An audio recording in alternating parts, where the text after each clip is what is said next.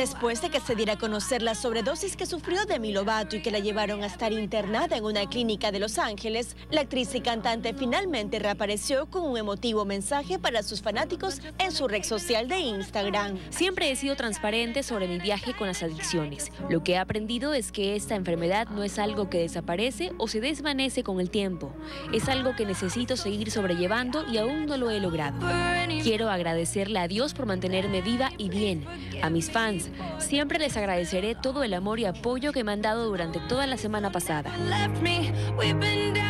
Justamente el portal internacional TMZ aseguró que una fuente cercana a la familia de Demi manifestó que la cantante aceptó ingresar en un centro de rehabilitación. Quiere estar sobria, quiere tener ayuda, entiende que requiere mucho trabajo y compromiso permanecer sana, pero es algo que desea, declaró la fuente.